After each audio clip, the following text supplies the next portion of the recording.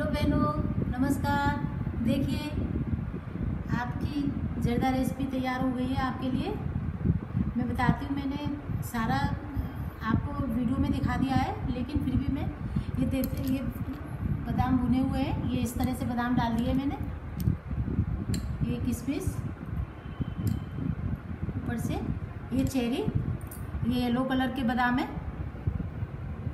और ये green colour के सी इस तरह से सारे ऊपर से मिलाया है, ये रेड जो मैंने आपको बताया। ये देखिए वाइट है। वाइट वो मैंने छोंकते हुए भी जो आठ दस लौंग डाली है, तीन चार काली मिर्च डाली है, दो चम्मच घी में, चाशनी बनाकर तो ये छोंकती है। पहले पानी में उबाले हैं, एक लीटर पानी में, ढाई सौ ग्राम चावल। ये देखिए, आपको तैयार हो गई है तो इस तरह से देखिए ये सफ़ेद है। कलरफुल चावल।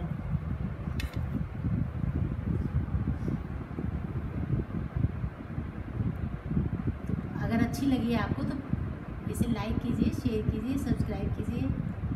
थैंक यू नमस्कार।